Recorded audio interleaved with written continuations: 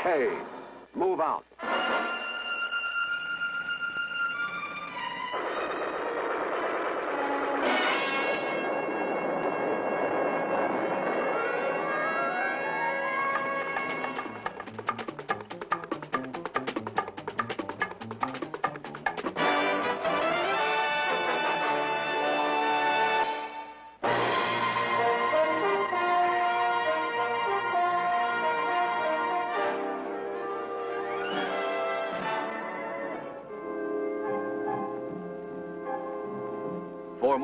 20 years of Cold War, the United States Seventh Army and its NATO partners have guarded the boundaries of freedom in Western Europe. This mission has called for a lot more than just routine guard duty. It has demanded that our defending forces be not only constantly alert, but also continuously abreast of the rapid advance of weapons technology. This film presents a case in point. It shows how a powerful new weapon, the Pershing surface-to-surface ballistic artillery missile, is being integrated into the 7th Army's arsenal of modern weapons.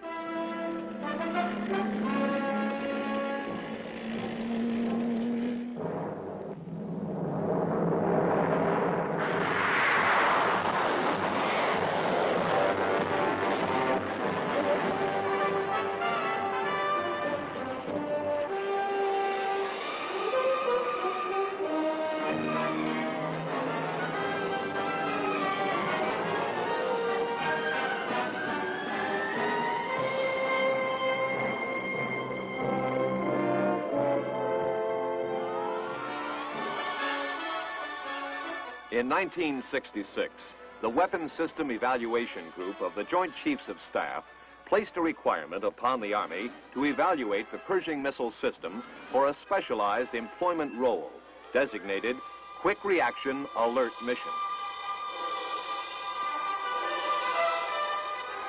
Previously, such evaluations had been made of the Navy Polaris.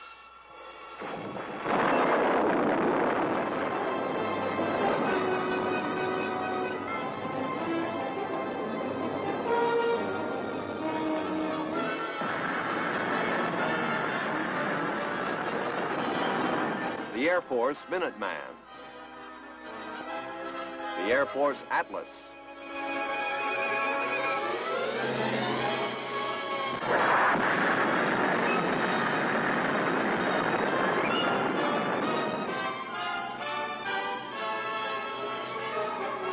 and the Air Force Titan.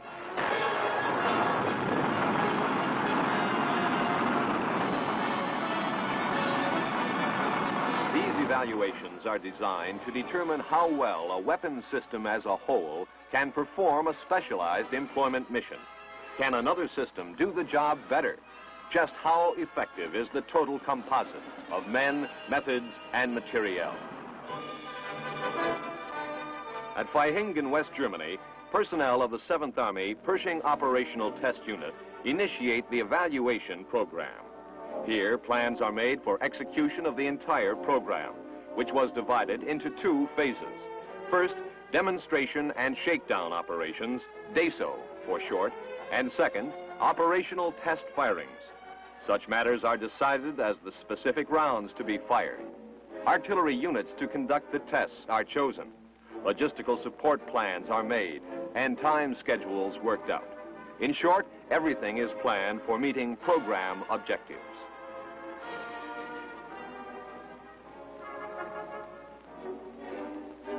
An unsuspecting 7th Army unit stationed at Schwäbisch Gmünd was selected for the initial demonstration and shakedown operation.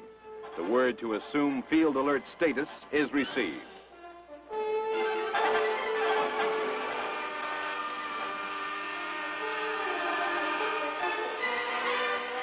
The selected battery is aware that now every minute counts.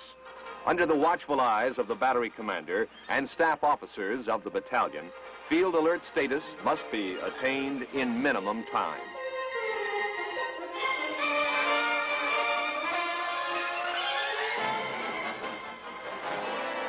Now begins more than six weeks of hard, unrelenting effort. No one is allowed to forget the time element. everything must be readied for a formal verification of field alert status by the evaluators. Program calls for more than just a test of equipment. Teamwork, operational concepts, tactics, and procedures are equally on trial. How effective is logistical support? How fast can field alert status be reached? How long does it take to fire after the release message is received? What about reliability and accuracy? In brief, how effective is this man-machine combination? Once the battalion receives verification of its field alert status, its missiles are flown to installations in the United States. The mock firings have answered many questions, but the big question remains, accuracy.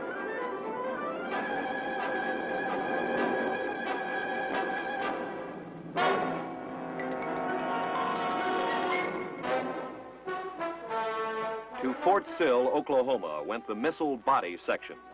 Here, these sections were to be fitted with instrumentation by the Army Missile Command's Pershing Project Manager's office team. In this building, on board, instrumentation was installed to make possible the collection of flight performance data for further technical evaluation of the Pershing system.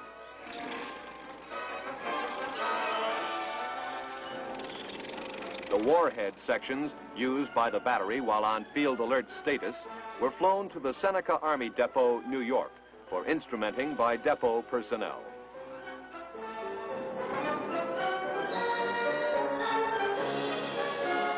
The instrumentation installed here will make possible the collection of warhead performance data without actually exploding a warhead.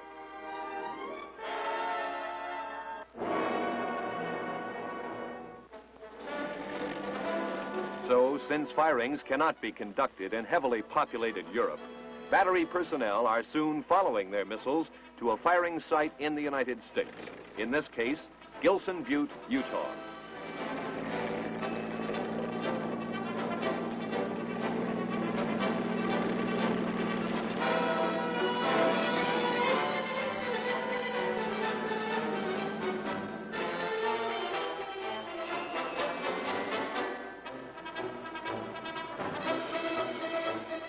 Rhein-Main Airport, the big planes wait.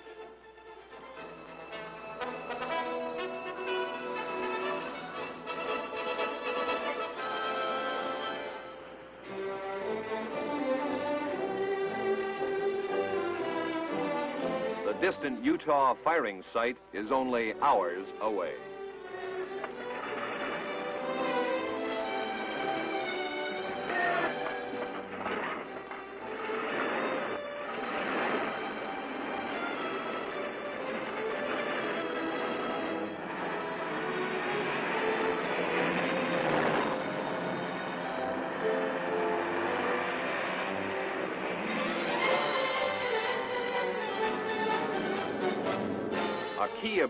Objective is to set the battery down at the Utah firing site in as nearly as possible the same state of alert as they had been in the field in Europe.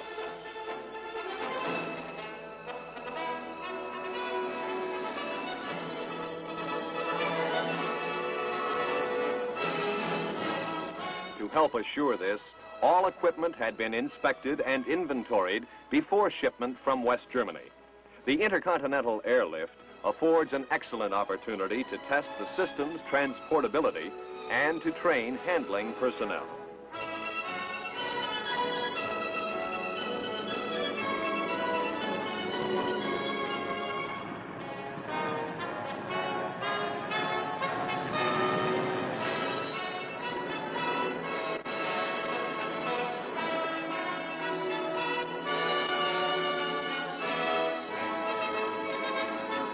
Hours after leaving Europe, battalion personnel arrive at Hill Air Force Base in Utah.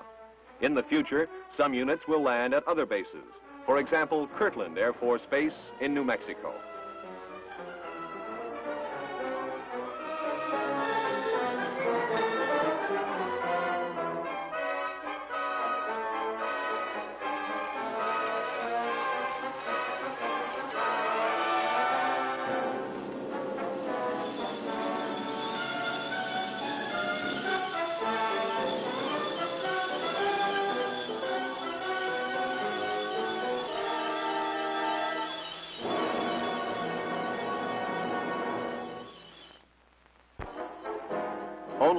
Pershing equipment essential for test purposes was brought along.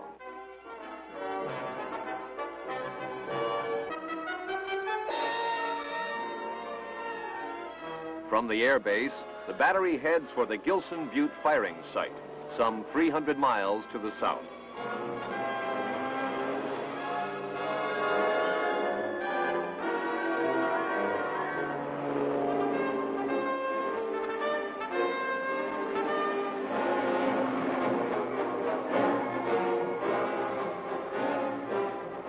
Still another convoy approaches Gilson Butte. This is a battery from Fort Sill, sent to support the 7th Army tests. They bring with them the body sections of the missiles, which had been flown from Europe and instrumented at Fort Sill. They also bring that equipment not essential to the quick reaction alert exercises, but still needed to fire the missiles.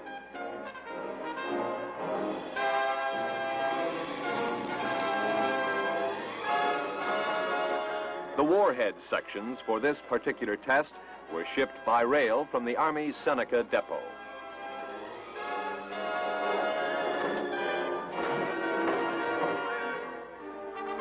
This is Gilson Butte, for which the firing site was named.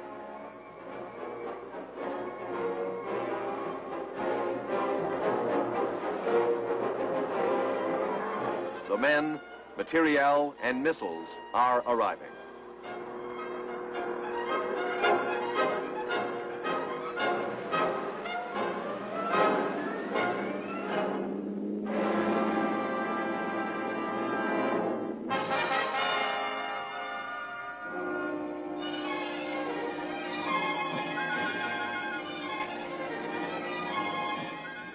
Conditions are simulated as closely as possible.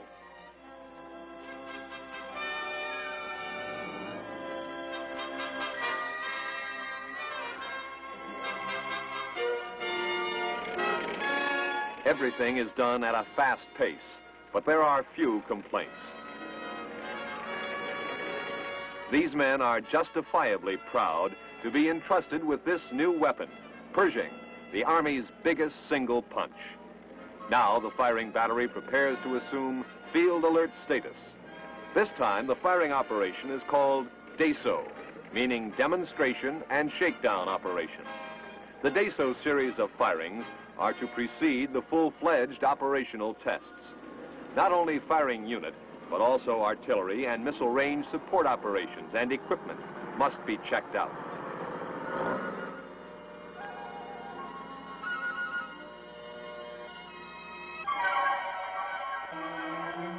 Over 400 nautical miles to the southeast lies White Sands Missile Range, New Mexico.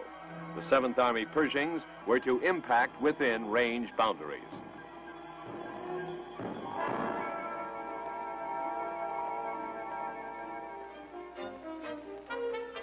Range support is provided through the Army Missile Test and Evaluation Directorate's Pershing project, White Sands Missile Range. The missile range's vast resources include a richly experienced staff of scientists, engineers, and technicians. Also, the range's extensive specialized facilities are available for support of the 7th Army Pershing tests. At Gilson Butte, the troops stay constantly on the alert. Without warning, the release message to fire may come at any time. Everything must be kept in readiness to begin the final countdown. The 7th Army evaluators never seem to sleep, nor do members of the Department of Army Data Collection Team, the Field Artillery Missile Systems Evaluation Group from Fort Sill, and the Pershing Project Manager's Office Team from the Army Missile Command. Every action is timed and recorded for evaluation.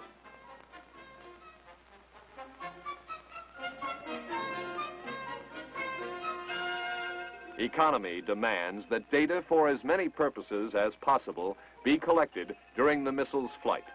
However, all observers are careful not to interfere with operations.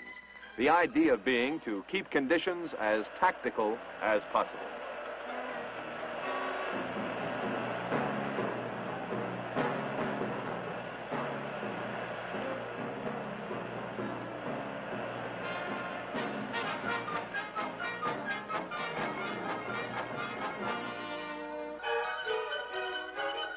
Layout of the firing site is a typical one. Note the 3,000-foot radius outer circle. All personnel not participating in firing operations must remain outside its limits. Access to the area inside the 1,000-foot radius circle is limited to personnel taking part in firing operations. And the area within the 500-foot radius circle is open only to personnel directly engaged in executing or evaluating the fire mission. At this site, Picatinny Arsenal personnel check out warhead fuses and instrumentation before they are issued to the troops.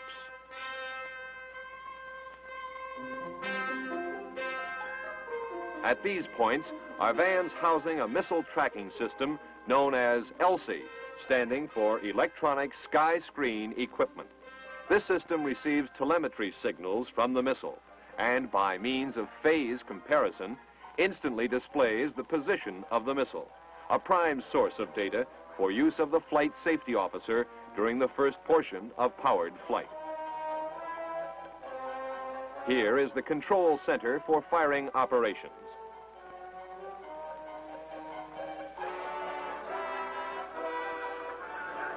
In the center, everything is coordinated by the test director, the project range controller, and the chief of the evaluation team. At this site is the Mobile Instrumentation Support System.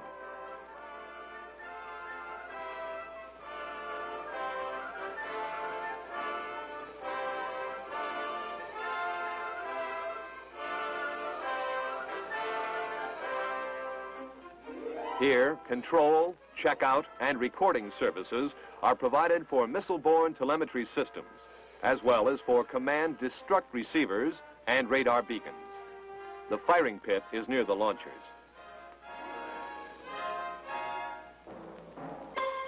The operational plan is to fire three of four missiles located at points called Alpha, Bravo, Charlie, and Delta. Upon receipt of the release message authorizing the unit to fire, programmer test stations at Alpha and Charlie will simultaneously begin counting down. The first missile to reach remote light blinking status will be designated the prime round by project control. Let's assume the round is Alpha. Soon after Alpha fires, the count will be resumed for the secondary round. At the same time, Alpha's programmer test station will move to a forward missile position. Upon firing of the secondary missile, its programmer test station will move forward. Again, the missile to be fired will be the one first to reach remote light blinking status. It is X day, although firing personnel do not yet know it.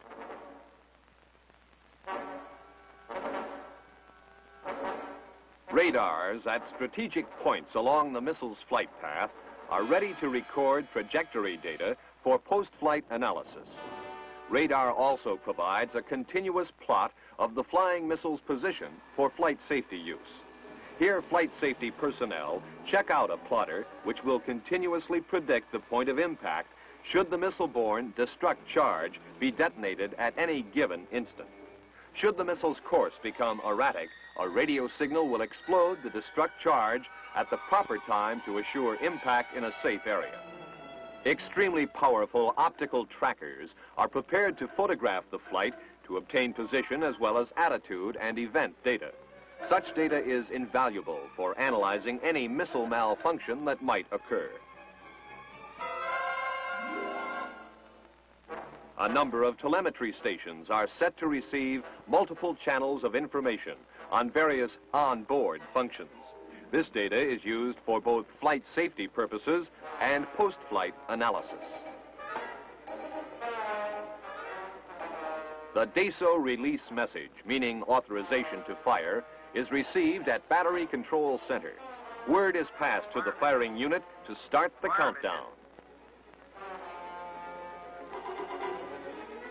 Many miles away, recovery teams stand by to retrieve missile debris and onboard instruments. Thus, classified items are safeguarded and missile remains are made available for post-flight engineering analysis.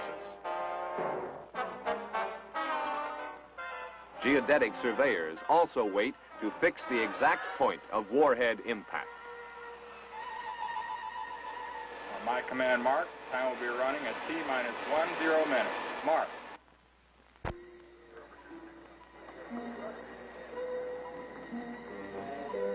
At far distant points, roadblocks briefly prevent entry into areas of possible danger.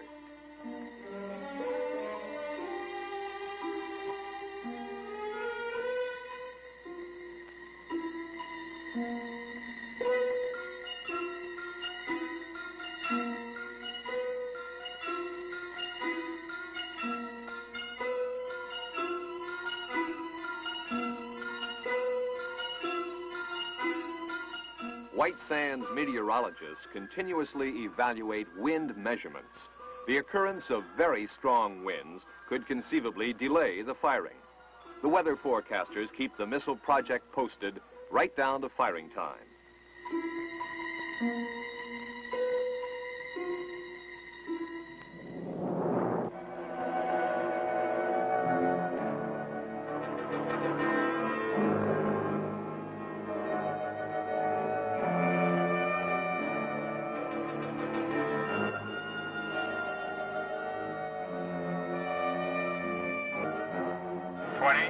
19, 18, 17, 16, 15, 14, 13, 12, 11, 10, 9, 8, 7, 6, 5, 4, 3, 2, 1, fire. Alpha, Bravo, Charlie, Delta, Echo, Foxtrot, Golf. Missile.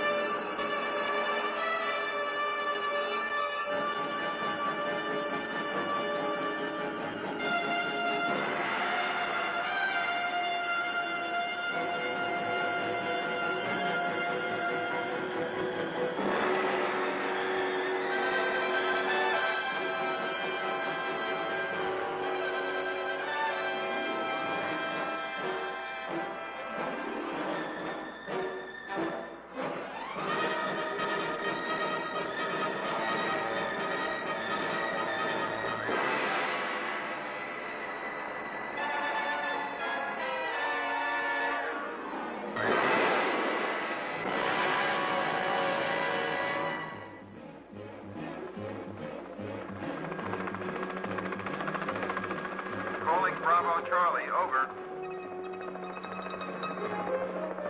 This is Bravo Charlie. Over.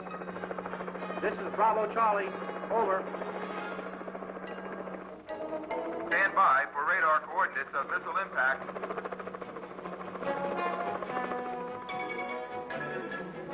Ground recovery teams have also received the word and head for the impact site.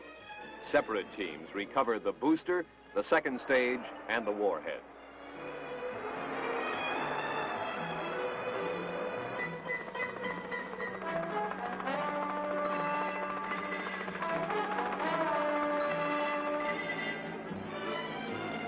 Critical data records acquired during flight are flown to White Sands Missile Range.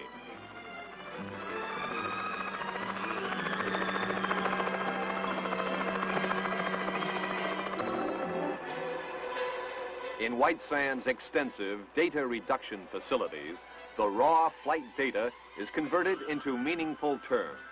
In the form of final reports, the data will be supplied to all organizations interested in Pershing missile test results.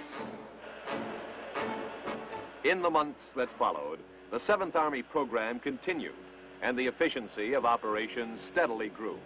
For example, two Pershing missiles were launched at the same instant, something that had never been accomplished before.